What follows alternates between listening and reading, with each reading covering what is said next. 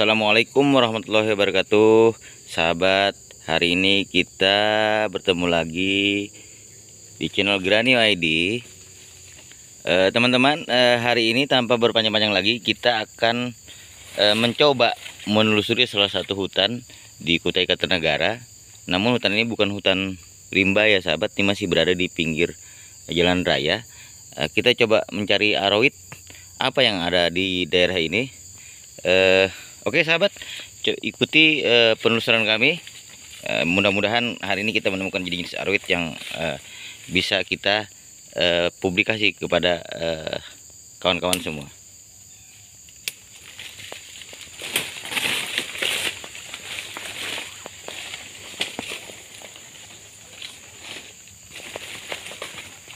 Wah ini banyak sepertinya salk hutan ya kawan-kawan ya. Biasanya arwit-arwit tersebut yang jenis-jenis epipit itu ada merambat di pohon-pohon besar. Kebetulan ini agak licin karena e, baru habis diguyur hujan nah ini sahabat ini ada salah satu tumbuhan endemik ini endemik Kalimantan orang lokal menyebutnya ini musi. Musi ini sejenis palem misalnya eh, kawan-kawan ya. Palem hutan. E, dulu ini tanaman ini memiliki sagu. Yang bisa dikonsumsi memang badangnya memang kecil lah. Jenis buahnya seperti ini kawan. Bulat-bulat. Seperti ini buahnya. Cuma tidak bisa dimakan ya kawan-kawan ya batangnya ini dulu bisa di eh, apa? Di dalam batangnya ini ada ada unsur sagu yang biasanya dulu zaman dulu masih bisa dimakan oleh eh, orang lokal Kalimantan. Nah ini kawan-kawannya musi. Oke kawan. Eh, kita lanjut ke perjalanan kita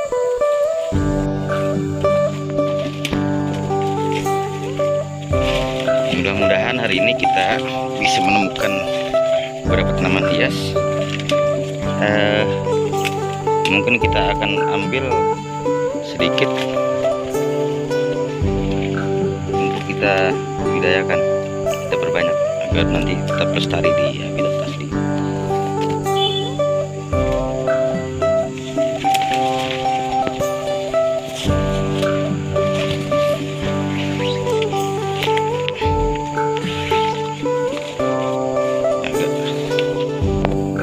ya kawan-kawan ya.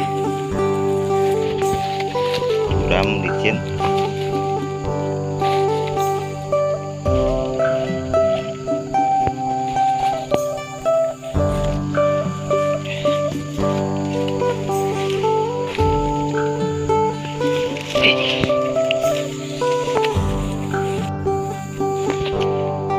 Nah ini jenis jamur ya kawan-kawan ya. Jamur ini bisa dikonsumsi sebenarnya ini. Cuma tidak terlalu banyak enak gitu kawan-kawan. Nah akhirnya kita menemukan salah satu jenis aroid kawan-kawannya ini dari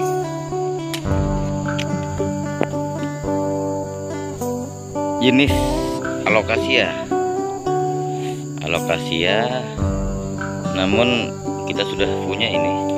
Ini salah satu endemik Kalimantan. Kawan-kawannya ini alokasia prinsip secara eh, tekstur daunnya cukup tebal. Untuk batang bentuk eh, petiolnya begini kawan-kawannya. Ada garis-garis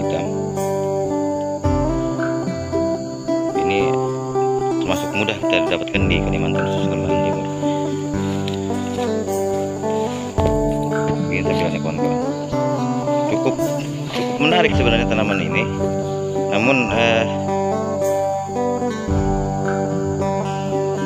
mungkin tidak terlalu di, diminati oleh para pecinta aroid di Indonesia. Dari tampilan sebenarnya cukup eksotis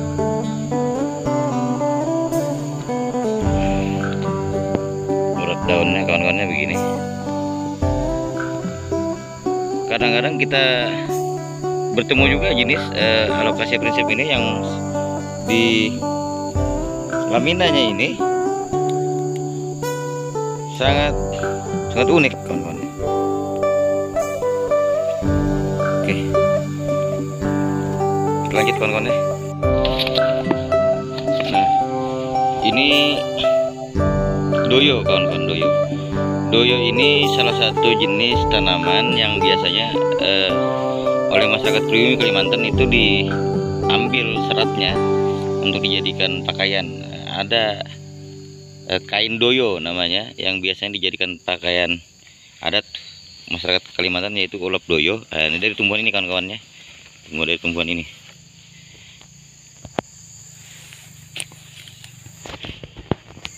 Oke lanjut. Nah ini kembali ada alokasia prinsip. Nah ini jenis bunganya begini kawan-kawannya. Ini jenisnya seperti ini. Uh, bentuknya spandik atau tongkol. Ini ada dua. Namun dari tampilan kecilnya berbeda. Ini agak hijau dan sedikit garis-garis hitam. Uh, ini lebih gelap. Ini lebih gelap lebih dominan hmm, hitam. Cukup eksotis kawan-kawan ya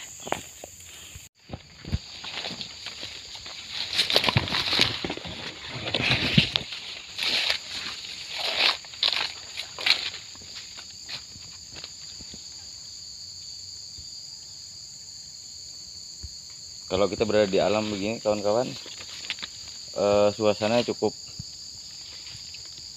uh, menyejukkan. Nah ini juga ada kita temukan ini jenis tanaman cuma bukan jenis aroid tapi sepertinya ini bisa kita jadikan uh, tanaman hias atau bonsai. Cukup menarik nih kawan-kawan. Uh, dari tampilan daun dia seperti eh, jenis tanaman kaca piring. Namun uniknya ini ada memiliki buah eh, seperti kopi. Seperti kopi ini bunganya warna putih kecil ya kawan. Nah ini dia bunganya kalau dia masak warnanya ungu. Waduh cantik sekali nih kawan-kawan. Ungu warnanya. Mungkin nanti uh, lain waktu kita akan coba ambil nih ambil uh, kita stek. Karena sepertinya ini termasuk salah satu tanaman yang lumayan eksotis ini. Dan juga belum belum pernah kita lihat di beberapa uh, channel kawan-kawan yang lain yang juga membahas tentang tanaman hias termasuk media-media uh, lain. Nah ini kawan. Buah sangat cantik sekali buahnya. Warna ungu nah ini juga. Bentuknya kayak seperti kopi tetapi dia cuma berbuah tunggal. Dan warna buahnya ini sangat menarik warna ungu. Indah sekali kawan-kawan ya. Nah, mudah-mudahan nanti uh, kita bisa ambil ini sebagian untuk kita budidayakan karena ini termasuk salah satu yang unik menurut kita. Supaya ini nanti tidak punah. Karena ini sepertinya cuma satu ini kita dapatkan kita juga belum tahu ini ID nya apa. Dia jenis tanaman eh, berpohon kawan ya berbatang tapi bukan jenis aroid. Oke kawan-kawan kita lanjut. Nah, sepanjang penelusuran kita kita masih menemui jenis aroid hanya alokasia dan ini masih alokasia prinsip cuma lumayan giant nih kawan-kawan ya. Nah, tampilannya eksotis sekali nih batangnya nah, nah, batangnya daunnya juga apalagi. Sangat eksotis kawan-kawan. Indah. Oke kawan kita lanjutkan penelusuran kita di hutan ini. Belum ada jenis aroid yang lain yang kita temukan ini kawan-kawan. Entah memang secara habitat ini eh, kurang pas. Atau sudah ada orang yang hunting ke sini untuk uh, mencari jenis-jenis aroid tapi sampai saat ini memang belum ada kita temukan sama sekali jenis-jenis aroid yang lain. Hanya satu tadi uh, jenis alokasi prinsip oh ini banyak sekali doyo kawan. Doyo. Namun ini kecil. Biasanya yang dijadikan serat itu untuk pakaian itu yang diambil pakaian untuk pakaian itu dia agak lumayan besar.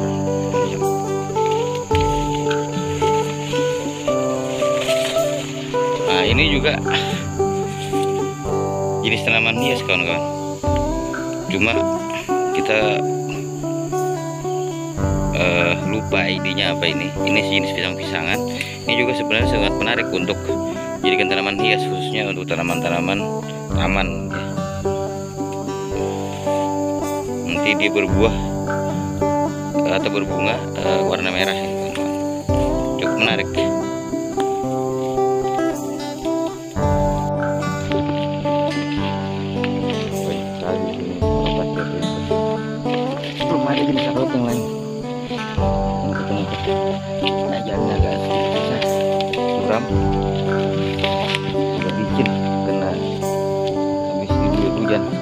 Kalimantan saat ini tidak tidak bisa diprediksi lagi kawan-kawan ya. Eh, setiap hari hujan. Entah ini mungkin akibat dari kerusakan ekosistem alam kita ini. Akibat terlalu banyak eksploitasi yang berlebihan. Nah ini kawan-kawan kita menemukan tenang hias juga, cuma ini bukan jadi dari jenis ini. Ini begonia. Begonia. Entah ini begonia apa? Yang jelas ini termasuk oh menarik kawan-kawan bentuk daun. Untuk daunnya ini buah seperti ini. Oh, buahnya begini kawan-kawan ya. Sepertinya buahnya sudah tua. Termasuk jenis begonia yang termasuk jumbo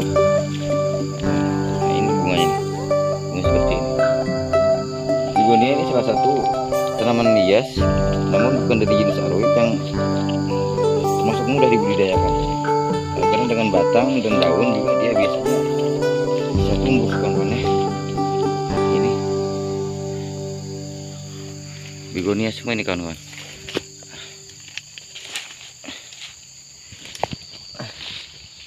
Oh ini. Ini kan begonia bunganya seperti ini ini bentuk buahnya nih. Memang dari warna dia cuma hijau batangnya agak sedikit merah. Petiolnya juga merah. Ada sedikit corak merah juga di urat daun. Nah, ini juga di belakangnya begini kawan-kawan. Lumayan eksotis lumayan banyak nih kawan-kawan. Jenis begonia mudah-mudahan ini tetap bisa uh, tumbuh baik di sini dan terjaga. Karena bagaimanapun kawan-kawan uh, sekecil apa pun tanaman tersebut tanaman tersebut pasti ada fungsi uh, untuk alam. Nah ini ada karakter yang berbeda kawan dari jenis begonia ini entah apakah ini bermutasi atau apa kita masih kurang kurang ngerti ini ini ada corak-corak bintik-bintik warna putih. Ini masih juvenil kawan-kawan ya. Sementara yang ini kan hijau ada tampilan hijau dan urat daunnya agak sedikit merah. Nah ini sama namun ini lebih gelap dan juga ada corak corak. Bintik putih dan juga di belakang di belakang daunnya ini juga berwarna merah. Kita biarkan dulu karena ini masih juvenil nanti coba kita ambil sedikit untuk kita perbanyak. Oke kawan-kawan kita lanjut. Ini masih akol alokasia prinsip. Memang kawan-kawan untuk mengidentifikasi tanaman-tanaman hias hutan tersebut kita perlu banyak referensi eh, karena jumlahnya sangat banyak sekali. Baik dari itu jenis khususnya dari jenis jenis eh, aroid endemik Indonesia atau natif Kalimantan itu eh, biasanya dari Rapidopora jenis Skindapsus, Amidrium ada juga jadi dari jenis Anadendrum nanti coba kita review jenis Anadendrum tersebut. Anadendrum ada juga yang jenis uh, alokasia uh, alokasia termasuk banyak yang jenis Kalimantan.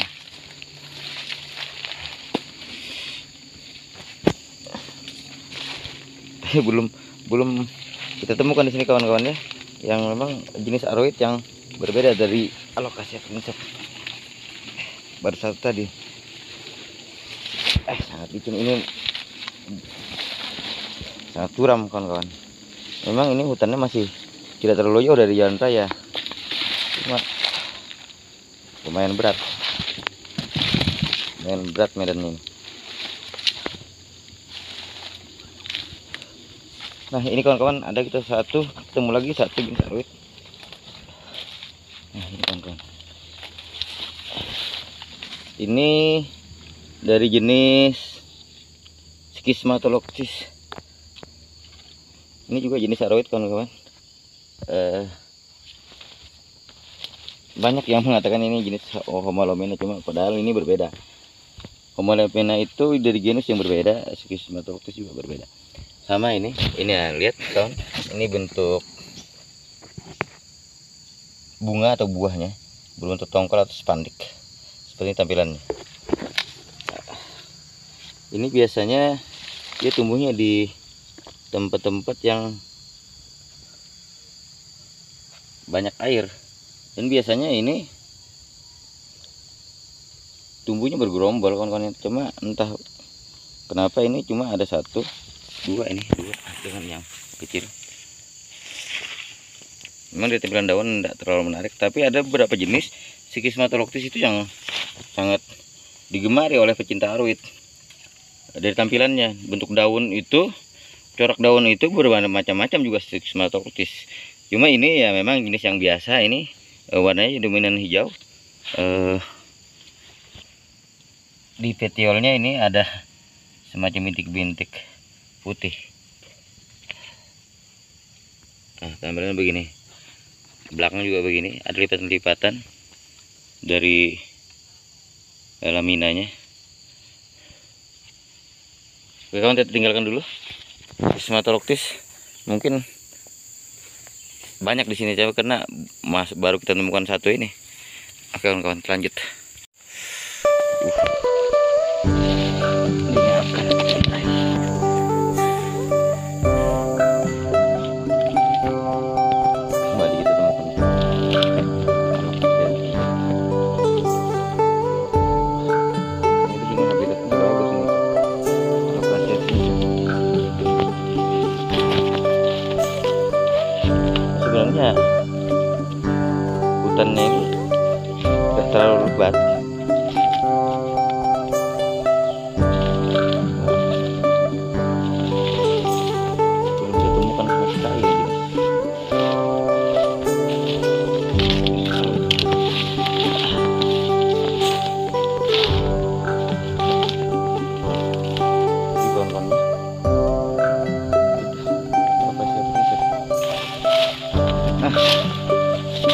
Bigonia kembali. Bukan bigonia nah ini skismatologis skismatologis lagi nah ini juga kawan-kawan ini jadi salah satu jenis tanaman hias juga sebenarnya ini yang bisa jadikan taman hias. Dari daun begini bentuknya. Ini biasanya eh, bagus untuk tanaman eh, taman ya. Eh, saya lupa ini ID-nya apa. Tapi ini menarik kawan-kawan nah, begitu ini. Termasuk bagus. Ini buahnya bisa bergerombol. Ada bunga-bunga putih. Kecil. Dan ini biasanya sangat bagus untuk untuk tanaman. Taman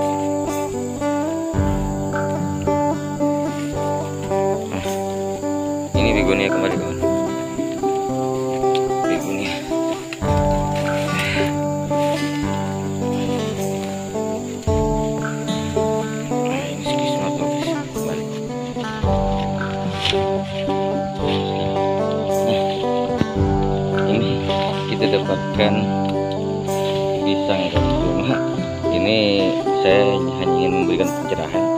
Ini bukan banana blood ya. Ini pisang hutan sebenarnya. Memang pisang hutan itu ketika dia masih kecil dia coraknya seperti ini. Jika ada jarak-jarak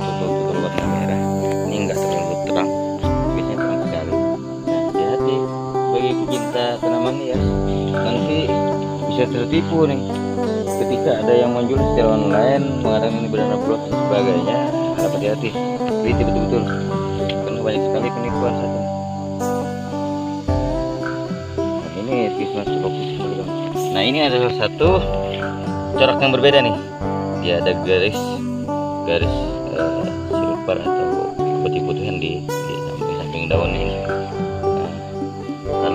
kalau tidak salah ini jenis Gismatologis longi ai kalau tidak salah. Oke lanjut.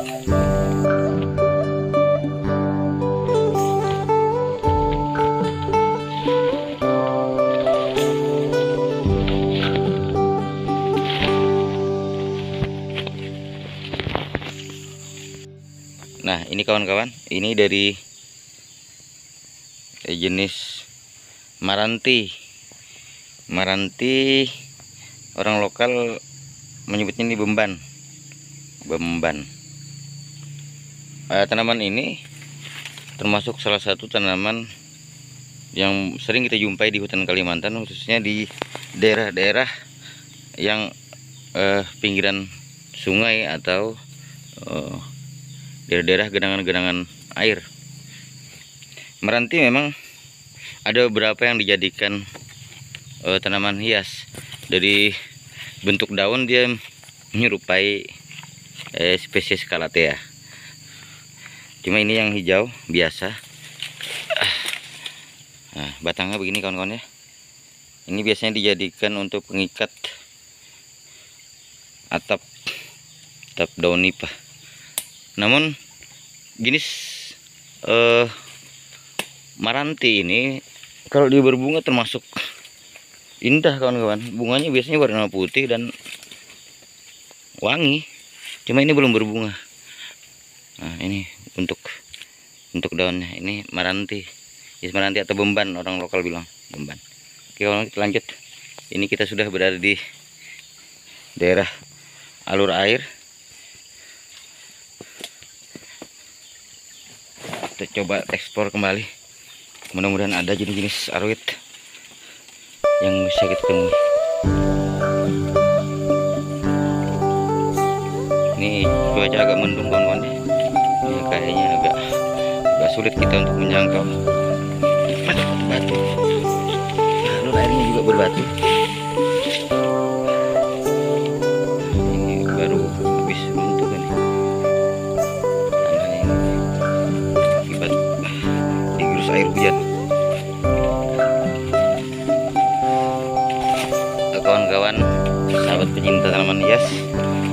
seluruh Indonesia saya berharap dibantu doa ya kawan-kawan untuk tetap lestarinya alam Kalimantan ini karena kita tidak bisa pungkir bahwa Kalimantan ini salah satu hutan yang menjadi, uh, penyangga ekosistem bumi ya samping hutan-hutan Amazon nah, makanya uh,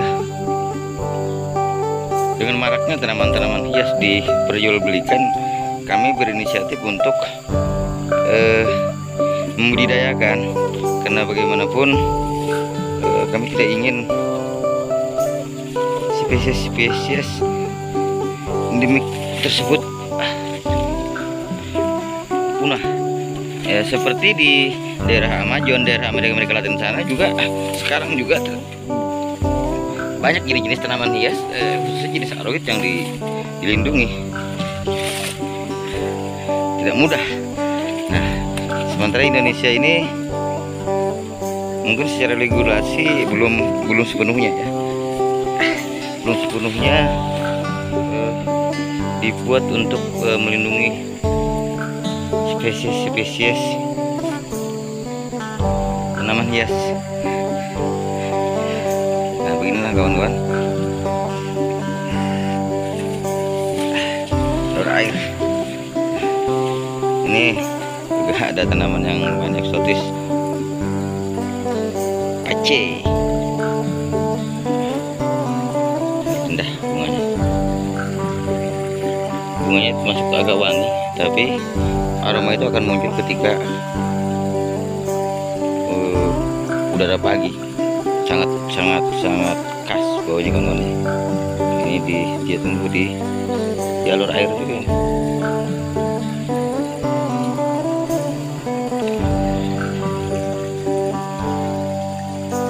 Oke kawan-kawan. Sepertinya cukup sampai di sini dulu. Eh,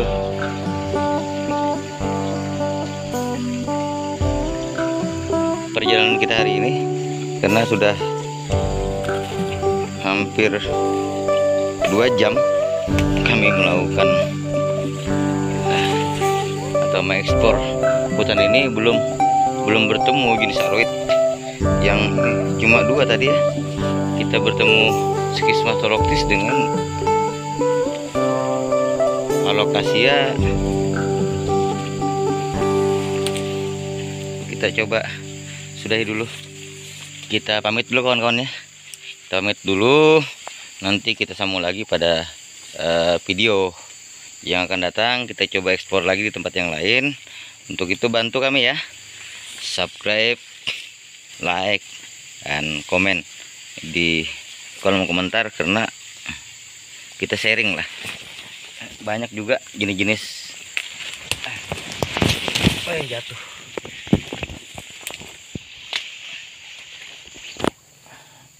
jatuh jatuh kan kan